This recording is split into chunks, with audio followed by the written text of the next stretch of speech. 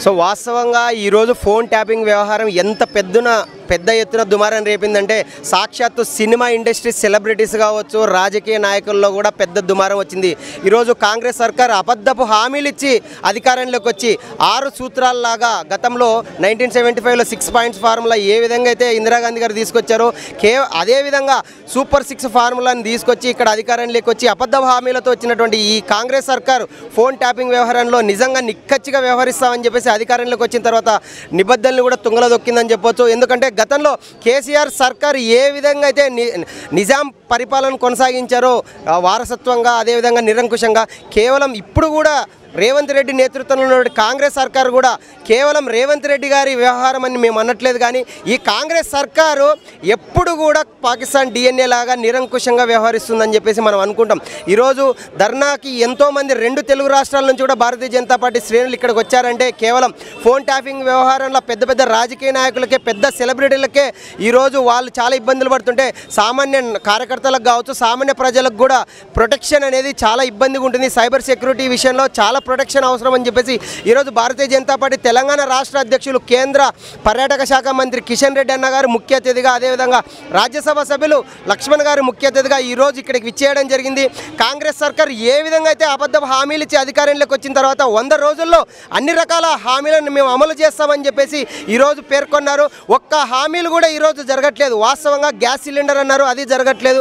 అదేవిధంగా ఈరోజు ఆర్టీసీ బస్సులో మనం చూస్తున్నాం ఎక్కడో సినిమాలకు వెళ్ళట్లేదు వినో వినోదం చూడడానికి. కేవలం ఆర్టీసీ బస్సులు ఎక్కితే చాలు అక్కడ మహిళలు ఏ విధంగా అయితే గొడవ పడుతున్నారో అదేవిధంగా ఈ మధ్యనే చూసాం ఎల్ఎన్డి మెట్రో రైలు ప్రపంచ దేశాల్లో తక్కువ స్ట్రాటజీస్తో హైదరాబాద్ అత్యంత అద్భుతంగా ముందుకెళ్ళింది. ఈరోజు ఎల్ఎన్టీ కూడా మెట్రో రవాణా కూడా ఈరోజు మనకు ప్రయాణ ఛార్జీలు కావచ్చు అదనపు భారం ఎందుకు వస్తుందని చెప్పారు. అంటే ప్రజలను సంక్షేమ ముసుగులో సోమరిపోతులుగా మారుస్తున్నారు ఈ ప్రజా ప్రభుత్వాలు ఏవైనా కూడా అబద్ధ హామీలు ఇచ్చినందుకే రేవంత్ సర్కార్ అధికారంలోకి వచ్చింది తప్ప ఏదో ప్రజా సంక్షేమ పాలన కొనసాగిస్తామని చెప్పి కాంగ్రెస్ని ఎవరు నమ్మలేదు. కేవలం కాంగ్రెస్ సర్కార్ అధికారంలో రావడానికి రెండే రెండు రీజన్స్. కేసీఆర్ అహంకార పూరిత నిరంకుశ వారసత్వ పాలనను తీసుకురావడం అనుకోవడం ఒకటి. అదే అదేవిధంగా అబద్ధ హామీలు ఒకటి.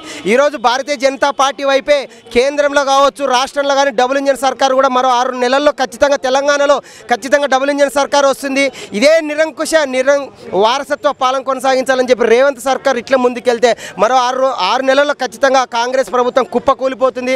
తెలంగాణలో ఖచ్చితంగా డబుల్ ఇంజన్ సర్కార్ జూన్ నాలుగు తర్వాత కేంద్రంలో బీజేపీ నేతృత్వంలో సర్కార్ వస్తుంది. అదేవిధంగా తెలంగాణలో కూడా బీజేపీ నేతృత్వంలో ప్రభుత్వం ఖచ్చితంగా వస్తుందని ఆశాభావం వ్యక్తం చేస్తున్నాం. ఇక్కడ బీజేపీ పార్టీకి సంబంధించి ఇతర పార్టీకి సంబంధించిన వ్యక్తుల ఫోన్లు కూడా ట్యాప్ చేయడం జరిగింది.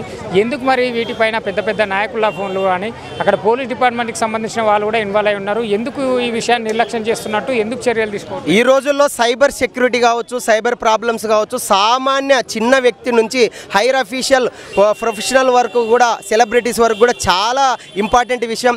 ఈరోజు కేవలం కాంగ్రెస్ సర్కార్ కావచ్చు కేసీఆర్ సర్కార్ కూడా ఎవరైతే వాళ్ళని రాజకీయంగా ప్రశ్నించే వాళ్ళు కావచ్చు రాజకీయంగా ఎదుగుతున్నటువంటి నాయకుల్ని కార్యకర్తల్ని టార్గెట్ చేసుకొని వాళ్ళ వ్యక్తిగత సంభాషణలు కావచ్చు ఫ్యామిలీకి సంబంధించిన విషయాలు కావచ్చు పర్సనల్ కెరీర్కి సంబంధించిన అంశాలను గోప్యంగా ఉంచాల్సినటువంటి ఈ ఫోన్ ట్యాపింగ్ విషయాలు మీకు సాక్షాత్తు మనం సోషల్ మీడియాలో చూసాం. సాక్షాత్తు డీజీపీ కావచ్చు సిపి కావచ్చు ఇలాంటి పెద్ద పెద్ద పోలీసుకు సంబంధించిన అధికారులను కూడా ఫోన్ ట్యాపింగ్ చేస్తున్నారంటే ఈరోజు కేవలం రాజకీయ కక్ష సాధింపు చర్యలో భాగంగా ప్రశ్నించే వాళ్ళని రాజకీయంగా అనగదొక్కాలి మమ్మల్ని ఎవరు ప్రశ్నించకపోతే మాకు ఇష్టం వచ్చినట్లు వారసత్వ పాలన కావచ్చు నిరంకుశటువంటి పాలన అందిస్తాము. మాకు అడ్డు అదుపు లేకుండా ఎవరు అడ్డు రాకూడదని చెప్పేటువంటి ఒక అహంకార పూరిత ప్రజా పరిపాలన కొనసాగిస్తున్నామని చెప్పేసి వాళ్ళు పేర్కొంటున్నారు. నిజంగా ఫోన్ ట్యాపింగ్ యొక్క అంశము ప్రతి ఒక్కరికి తెలుసు. ఈ రాజకీయ ప్రభుత్వాలు కేవలం కక్ష సాధింపు ధోరణితోనే ఈ ఫోన్ ట్యాపింగ్ వల్లనే ముందుకెళ్తున్నాయి.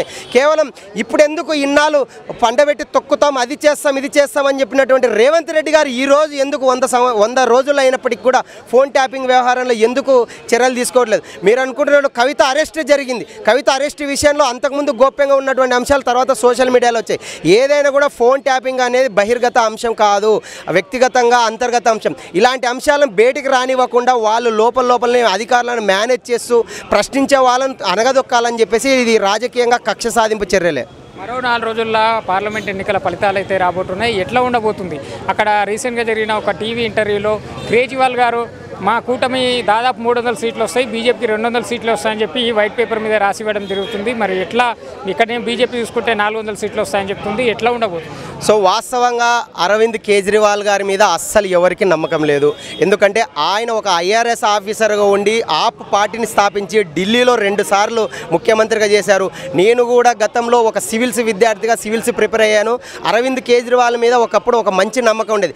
ఈరోజు లిక్కర్ స్కామ్లో కూడా ఎదుర్కొన్నటువంటి తీహార్ జైలుకి వెళ్ళినటువంటి అరవింద్ కేజ్రీవాల్ని ప్రజలు నమ్ముతారని నేను అనుకోవట్లేదు. ఎందుకంటే ఈరోజు దేశమే కాదు ప్రపంచ దేశాల్లో దాదాపు నూట తొంభై మూడు దేశాలు ఉంటే దాదాపు వంద దేశాలకు పైగా ఈరోజు ప్రపంచ దేశాలు అగ్రగామిగా ఉన్నటువంటి అమెరికా కావచ్చు రష్యా కావచ్చు జపాన్ కావచ్చు జర్మనీ కావచ్చు ఇతర దేశాలందరూ నరేంద్ర మోదీ గారిని అభినవ స్వామి వివేకానంద్ గాను రా- రాముడు గాను పోలుస్తున్నారు. ఈరోజు భారతీయ జనతా పార్టీ ఖచ్చితంగా చార్ సోఫార్ ఏక్ ఏక్ సో చార్ సోఫార్ నాలుగు వందల పైగా సీట్లతో మేము జూన్ నాలుగున అధికారంలోకి వస్తున్నాం.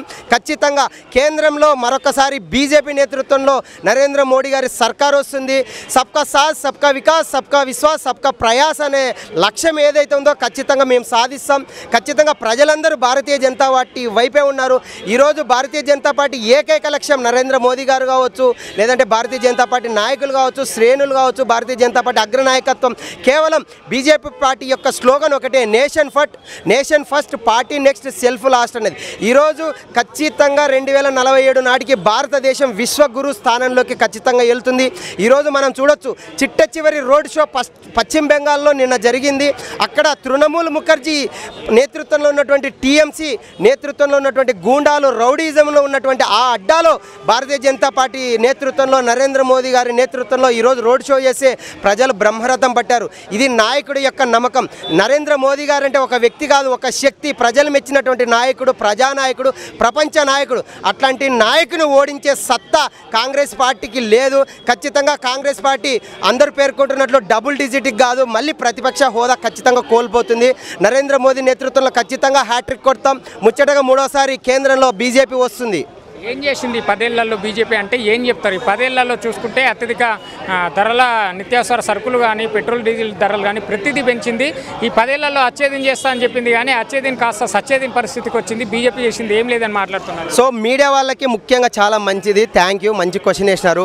నేను చెప్పడం కంటే మీకే తెలుస్తుంటుంది. ఈ పది సంవత్సరంలో భారతీయ జనతా పార్టీ నేతృత్వంలో ఉన్నటువంటి నరేంద్ర మోడీ గారు ఏం చేశారో మనకందరికీ తెలుసు. రెండు వేల పద్నాలుగు నుంచి అధికారంలోకి వచ్చి ఇప్పుడు రెండు వేల ఇరవై నాలుగు అంటే పది సంవత్సరాలు వచ్చింది. ఈ పది సంవత్సరాల్లో మేము భారతీయ జనతా పార్టీ నేతృత్వంలో ఏ విధంగా సత్ఫలితాలు సాధించామో దేశంలో కాదు ప్రపంచ దేశాల్లో ఉన్నటువంటి అగ్రగామి దేశాలందరూ తల వంచాయి. అంటే గతంలో డెబ్బై ఐదు స్వాత ఐదు సంవత్సరాలు పైగా ఉన్నటువంటి మన భారతదేశంలో కాంగ్రెస్ ప్రభుత్వం ఎక్కువ సంవత్సరాలు పరిపాలించింది. కానీ కాంగ్రెస్ ప్రభుత్వం సాధించలేనటువంటి అద్భుతాలని మేము సాధించాం.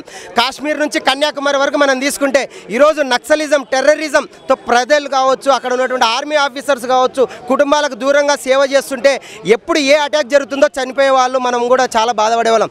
ఈరోజు జమ్మూ కాశ్మీర్లో ఆర్టికల్ త్రీ సెవెంటీన్ తీసుకొచ్చాం. అదేవిధంగా ముస్లిం మైనార్టీలకు కూడా భారతీయ జనతా పార్టీ ఎప్పుడు అండగానే ఉంటుంది. ముస్లింలు కూడా మా సోదరులు అని చెప్పేసి ఈరోజు కేవలం ముస్లింల కోసం ముస్లిం మహిళల హక్కుల కోసం ట్రిపుల్ తలాక్ చట్టం తీసుకొచ్చిన పార్టీ భారతీయ జనతా పార్టీ.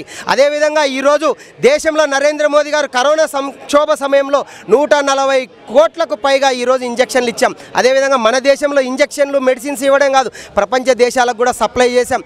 అదేవిధంగా ఈరోజు కరోనా సమయం నుంచి నేటి వరకు రాబోయే ఐదు సంవత్సరాల వరకు కూడా ప్రధానమంత్రి గరీబ్ కళ్యాణ్ యోజన కింద ఐదు సంవత్సరాలు మనం ఉచిత రేషన్ ఇస్తున్నాం. అదేవిధంగా వన్ నేషన్ వన్ ట్యాక్స్ ఇచ్చాం జిఎస్టీ. అదేవిధంగా ఈరోజు ఏ అంశాన్ని తీసుకున్నటువంటి కూడా భారతీయ జనతా పార్టీ ఈరోజు తీసుకొచ్చింది. ప్రతి ఒక్కరికి ఎన్నో సంవత్సరాల కళ ఐదు వందల తొంభై సంవత్సరాల పైన కళ అయినటువంటి అయోధ్య రామమందిరిని కూడా ఏ చిన్న సంఘటన జరగకుండా ఈరోజు అయోధ్య రామ మందిర పునర్నిర్మాణం జరిగింది. అదేవిధంగా కాశీ కాశీ విశ్వేశ్వరనాథ ఆలయం పునర్వైభవం కావచ్చు. అదేవిధంగా ఈరోజు దేశంలో కాంగ్రెస్ డివిడెండ్ పాలసీ రూల్ చేసి ఎన్నో ఎన్నికలు చేసింది. ఈరోజు భారతీయ జనతా పార్టీ నేతృత్వంలో మూడు ఎన్నికలు జరిగితాయి ఎక్కడ కూడా ఎటువంటి చిన్న సంఘటనలు కూడా జరగ మర్చిపోకుండా జమిలీ ఎన్నికలకు కూడా రాబోయే రోజుల్లో ముందుకెళ్తాం. ఖచ్చితంగా భారతీయ జనతా పార్టీ ఒకటే చెప్తున్నాను. రెండు వేల పద్నాలుగు నుంచి రెండు వేల ఇరవై నాలుగు ఈ పది సంవత్సరాల కాలంలో డెబ్బై ఐదు సంవత్సరాల్లో ప్రజాధనాన్ని దుర్వినియోగం చేస్తూ ప్రజా పాలన కొనసాగిస్తా అని చెప్పి ప్రజల్ని వంచినటువంటి కాంగ్రెస్ పార్టీ కంటే ప్రజలు ప్రజా సంక్షేమం కొనసాగిస్తున్నటువంటి ప్రజానాయకుడు నరేంద్ర మోదీ గారి వైపే ఉన్నారు. ఖచ్చితంగా రాబోయే రోజుల్లో నాలుగు వందల పైన సీట్లతో అధికారంలోకి వస్తాం.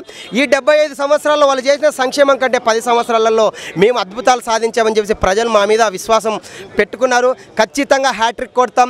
రాబోయే రోజుల్లో ఖచ్చితంగా రెండు వేల నలభై ఏడు నాటి వరకు కూడా భారతీయ జనతా పార్టీ అధికారంలో ఉంటుంది. ప్రపంచ దేశాలకే విశ్వగురు స్థానంలో మనం నెంబర్ వన్ స్థానంలోకి వెళ్తున్నాం. భారతీయ జనతా పార్టీ నాయకులుగా మేమందరం గర్వపడుతున్నాం.